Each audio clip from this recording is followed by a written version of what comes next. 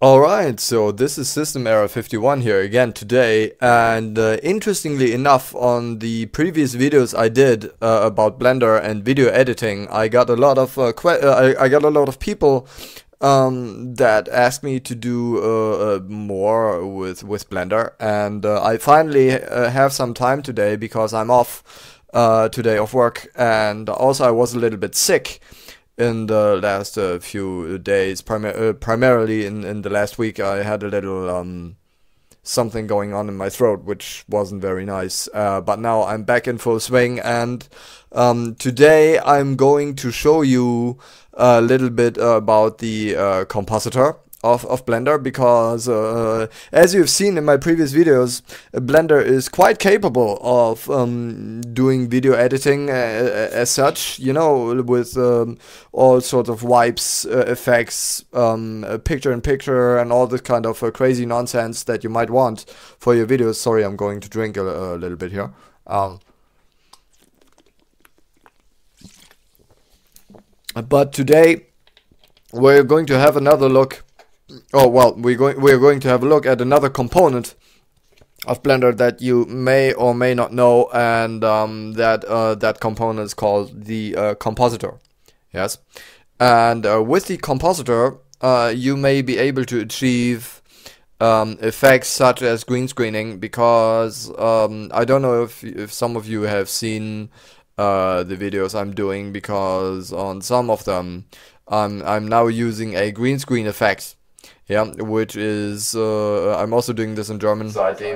Yeah, so uh, this is a this is a little green screen effect that I that I am trying to achieve in my disclosure labo laboratories videos. Um, it's uh, oops, it's not entirely perfect, but you you you know the camera also. Uh, I mean the camera is good, but um, the uh, green screen I'm using sometimes has issues with uh, shadows and all this crazy nonsense. So it's not entirely perfect, but I'm I'm I'm trying to do what I can.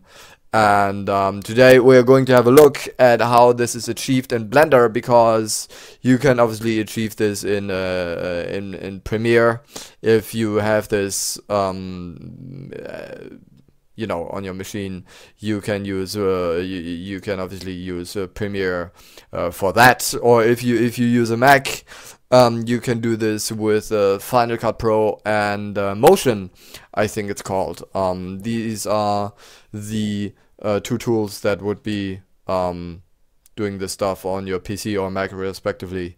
Uh, I, I think on the PC if you have Premiere um, you can also get something uh, it's called After Effects which uh, does a lot more than uh, Premiere's uh, built-in effects. But now let's get to the to the beef of today, and we are going to use a different view than um, than this one, but we're going to have to use the timeline.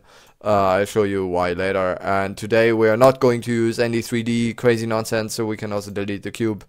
Uh, in fact, we can delete everything in the scene because um, we don't need any of that for 2D compositing, uh, which is why we are now going to switch to a, another view, and this view is uh, is um, is called something, and it's called Node Editor.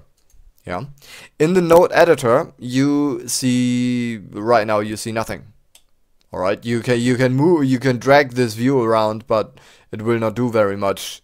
Um, in in Blender, it works with nodes, yeah, and we can also uh, move all this view out of the screen because we don't particularly need that. I I think we can also try to uh, eliminate this view for the moment if that's uh, possible at all, but I don't think it is because you would have to merge the views.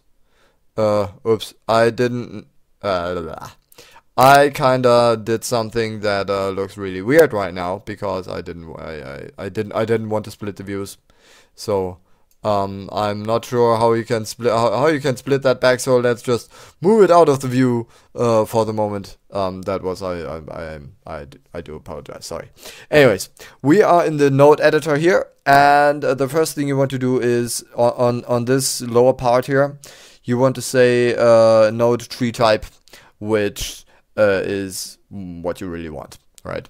So uh, here you can enable the backdrop uh, if you want to use that, uh, which might be quite interesting, and I'll show you why later. Uh, use nodes, obviously we want to use nodes, there we go, we have two uh, default nodes. Uh, free unused, obviously very important if you delete nodes, like so, um, the memory that was occupied by these nodes is, is being released, which is obviously something that you want to do if you don't necessarily have a machine like like I do because uh, this is Start8 by the way. I'm using Windows 8 and this is uh, called Start8 buy it 5 bucks it's you know if you like your start menu um from Windows 7 you may want to have uh, and you want to have this back then uh 5 bucks isn't a very huge investment to make.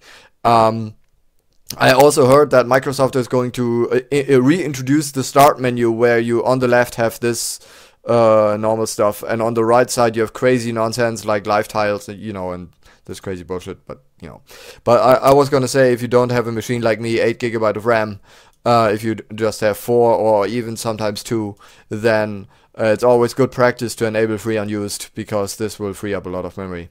Um, backdrop is something that you want to consider using because backdrop, what what this all does is that when you use nodes, uh, it will automatically render the, uh, uh, the the rendered image as a backdrop, as a, as, as li like a live wallpaper on on on this, um, you know, uh, grid based view.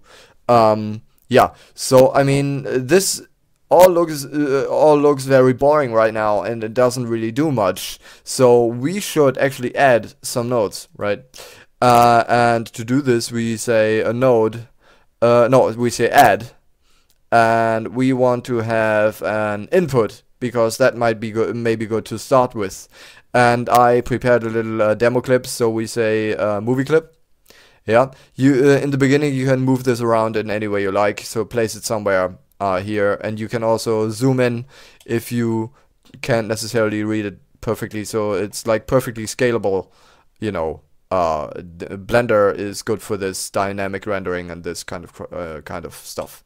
Uh, so we have a movie clip uh, input node here. Uh, all these things don't care too much about them. You say open and we say desktop and I uh, Blender tutorial and we say I, I converted it to MOV to make things easier. So you say open clip boom. There's me on a, a fairly cheap green screen. And uh, in order to see your uh, composited view uh, uh, which is what you may want to do you say add uh, output uh, in the moment you say viewer, and there's another output that you want that you want to add later, uh, viewer.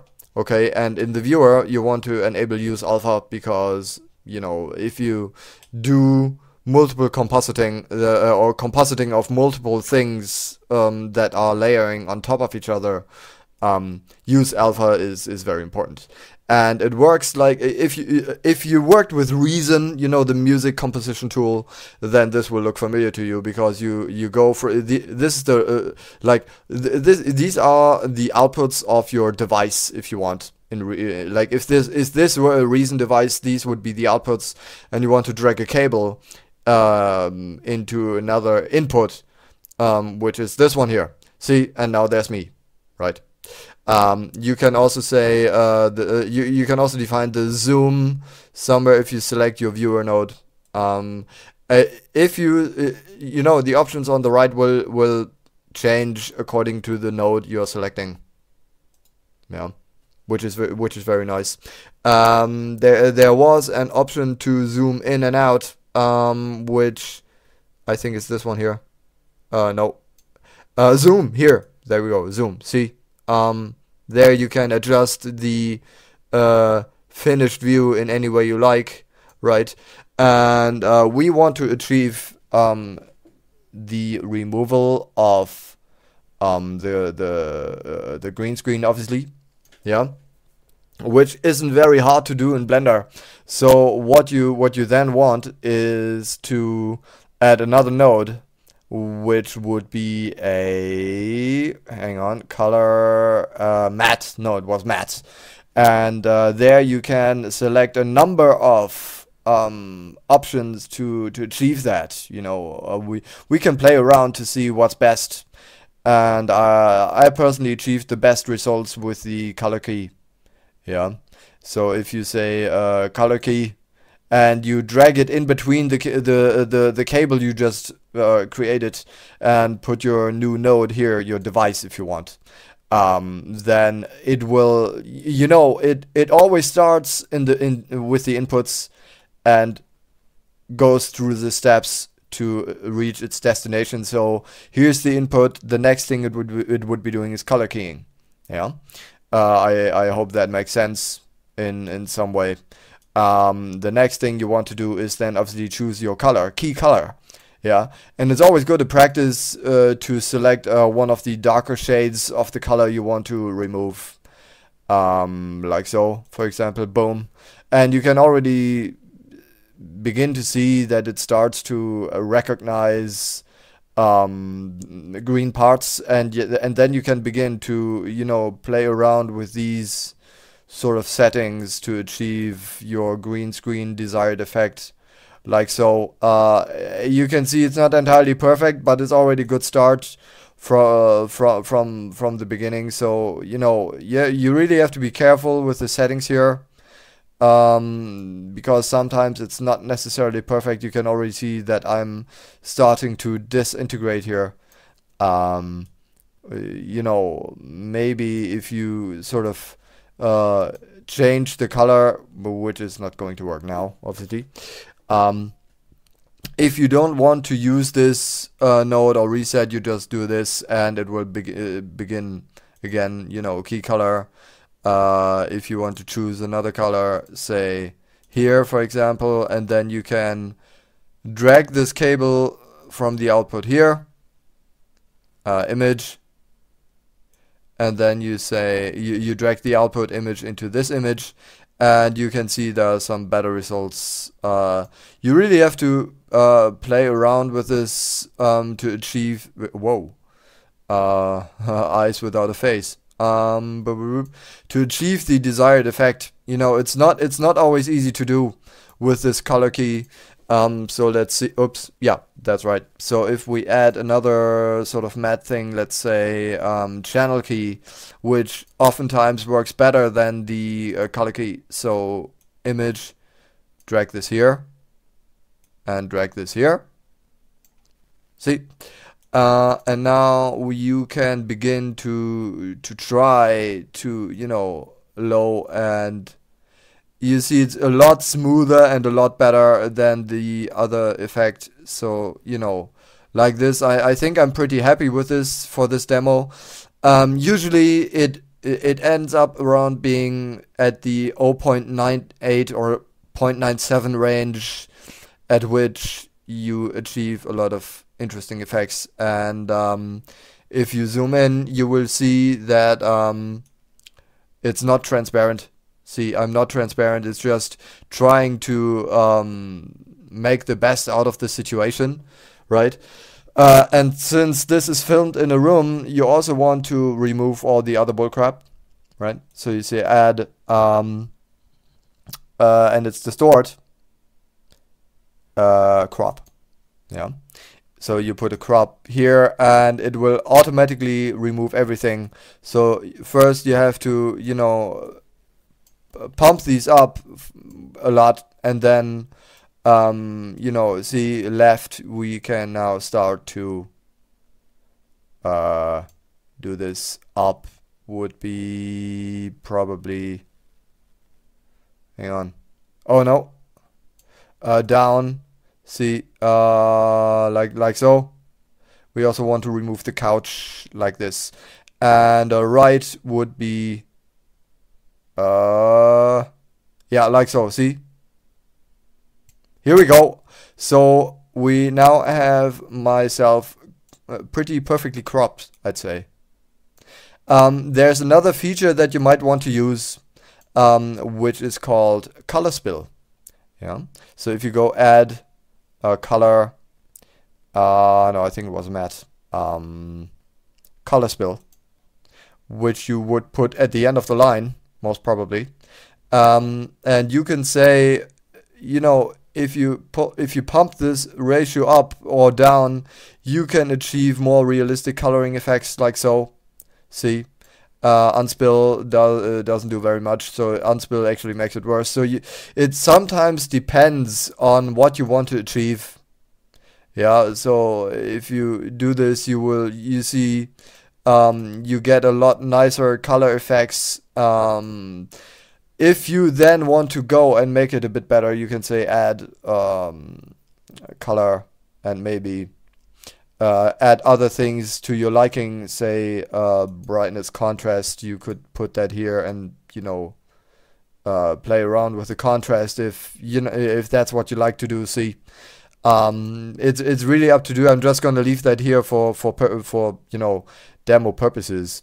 And uh, the next step that you that you uh, may want to do um, before uh, you do any of the color spilling stuff, um, because I want myself to be uh, more uh, moved to the right, and we will do that in in a moment. And um, I also want to have a uh, another input.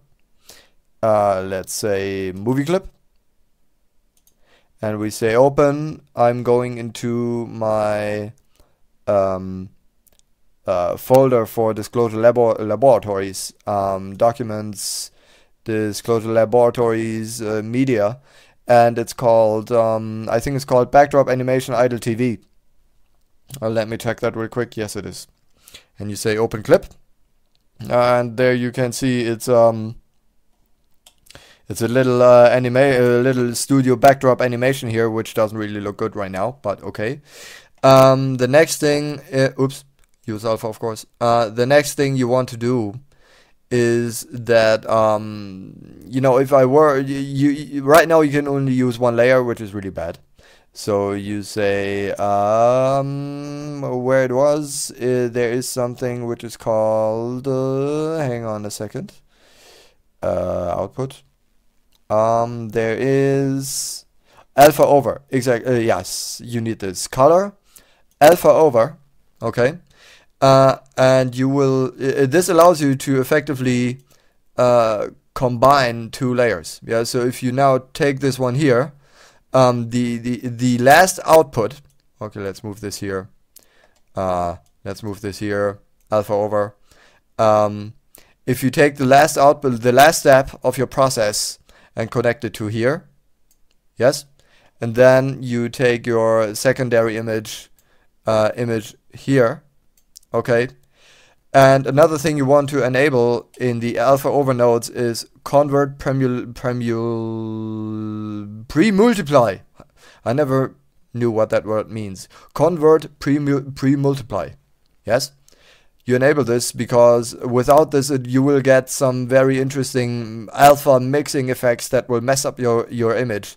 So if you do this uh, image here uh, now you can see uh, the backdrop uh, so you will probably have to switch these around and there we go. So now you can see that there's something quite wrong with the uh, uh, with this one here. So if you you know reduce this a little bit like so.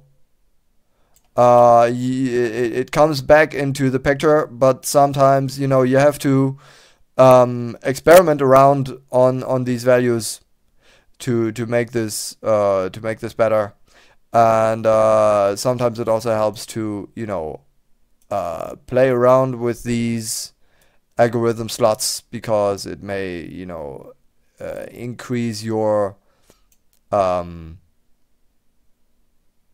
uh, your results. Sometimes it's also good to you know switch around between these and uh, see what's gonna happen. You know, um, it's, it's, sometimes it's like that. You really have to um, play around with the values uh, in such a way that uh, you remove all the green parts. It's it's not always easy as you can see here, but you you know you get the idea. If you play around with these settings. Let's try to see if we can make this perfect here. Oh. Uh, no. Not this one. Not this one. Oh, that looks good. That's that's Slenderman. You know, whoa. I'm Ghost.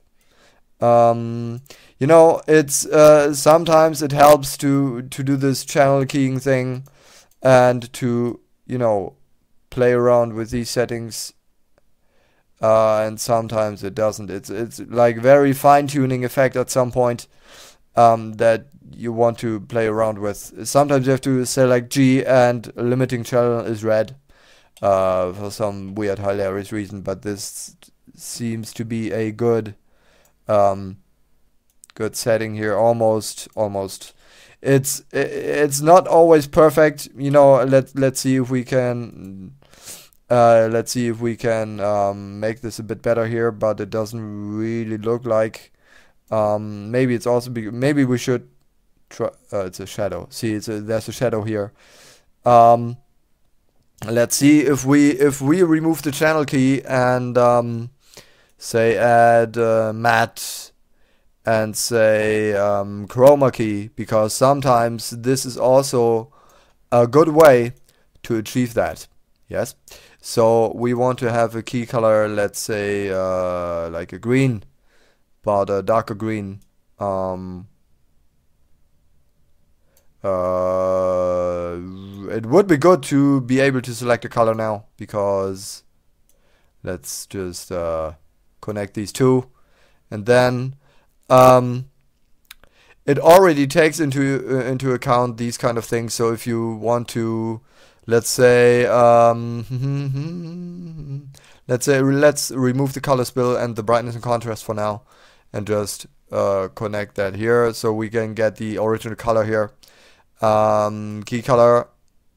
Uh, this is good because now you can uh, play around with these settings and see uh, this in a live environment. You know, like so. Um, fall off, uh, fall off should be like this. Acceptance, maybe a bit lower. Uh, not quite. No. Cut off. No. So this is not necessarily okay. So chroma key is not necessarily something you want in this scenario. Matte. Uh, let's say. Um, I never tried. Uh, I, I never tried keying because it's it's very complicated. This kind of node, so uh, I I didn't really use that. Um, color, uh, no matte. Um, color key always seems to be the best choice uh, in in these scenarios. Um, so I, I think for the moment crop um left maybe a little bit less. You know, like this and up uh, no, down. Yeah, let's remove that a little bit like the like this. Okay. Um, dun, dun, dun, uh, key color. Let's say something along the lines of this, and um, let's try to fiddle around with the settings here, like so. Ah, yeah, this is good. This is good. This is this is this isn't necessarily bad, but also it isn't good. Uh, but you can try to, you know, not remove everything but just a part because that may help you if you want. Let, let's say this, this looks really messy. So let's say add um, matte uh, channel key, put that here. Um, let's see, and this is going to be a lot better, it seems but also it will make me a lot more transparent, which is not necessarily something we want. So, uh, but if you have a more perfect green screen, um, red, green, blue, no, if you have a better green screen than I do, then uh, this may actually be of uh, use to you. Sometimes it also helps not to remove, uh, not to have high to 1.0. See, uh, you get a lot of better results with this a lot better results. Let's just say this. This is perfect, I'd say. Um, I, I, I think I'm pretty happy with that. Yeah. And if you say add um, um, where's matte? color spill, you put that here uh, and you reduce the color here, then you can see it's it's looking quite nice at this point and it, it, it, you don't have as rough of edges as before. Um, so these are tricks you can utilize in in in the uh, compositor yeah? Uh, another thing that you may want to do uh, right away before you do any color processing is add distort translate uh, like this and then you can move myself. Uh, like so but it will also see it will it, it it has an effect on on the cropping. So but this is this is not a problem because you can you know adjust these to your liking. See? Like this. And uh, then also what I want is to have a oops uh, hang on right should be like this see? And uh, then you can go and uh, maybe because my legs are not entirely visible which is really bad. So input uh, image. And this is where it gets complicated because now you you have three layers yeah?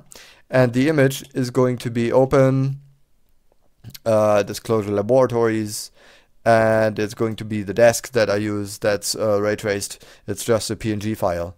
And uh, you want to um, you want you want to have another alpha over node which is add uh, color alpha over. And you want to uh, at this point you you really want to think what you're going to do. Yeah? So uh, the desk should be coming next um, you know over the existing uh, layering yeah? So you want to have alpha over in this here okay? And you want to have the image going in here and that's it. See? This is pretty much a good replication of what I'm doing uh, normally with my video editing. And in the timeline here you can obviously uh, already preview your material uh, which looks really really nice if I uh, may say so myself and uh, then obviously if you're happy with everything that you're doing um, then you can go back into your or maybe you can also go and um, pull up a properties panel like so here yeah? Uh, say uh, properties which is here uh, where you select your uh, rendering preferences say 1280 uh, by 720 you increase that to 100% uh, frame rate is 25 uh, uh, anti-aliasing you don't need. Uh, you, you select all the bullshit that you would normally select. Uh, say H264 or Xvid uh, you select your output folder which is desktop and this one here. Um, accept and uh, that's pretty much it. And if you if your uh, display say keep your eye, and if you're happy with with that um, with all your work, um, then you can uh, you can say uh, no render. Oh yes, no render output node in scene. Obviously, um, very important because all, I almost forgot that. Um, right now we only have a viewer here, so this uh, lets us view the output uh, in our compositor, yes? But you also want to add output uh, composite, yeah? Which is exactly the same as the viewer, except that this one is going to be your render destination. This is going to be um, what you're going actually going to render into a file. Yeah, this is exactly the same. So if I switch somewhere like here, um, you see it will change the image uh, like it does in the viewer. And if you say animation, it will start to render your images as you can see in the timeline. And um, that's that's pretty much it. Yes. Uh, there's not much else uh, to to say about this. This is uh, another thing that you can do with uh, video editing um, uh, and uh, uh, and Blender, okay, so we now have uh, a little bit of material here, which is about two seconds. It's now being, uh, it's now, it's now rendering, and um, I hope this was helping you a little bit with um, uh, another component in Blender that you can use for, to your liking. Um, and obviously then uh, with the finished file you can go and do your normal uh, video editing yeah which is i'm not going to go into that but you know if, if you want to know how that works with video editing you can view the other video that i did which amazingly has over 20000 views and i don't know how that happened uh, but i'm uh, very grateful for your support and uh, and interest into the subject and this uh, little stupid video I did. Um, yeah, so uh, that's it for the moment. I hope you like this, and uh, I'll see you again uh, next time. All right, thanks. See ya.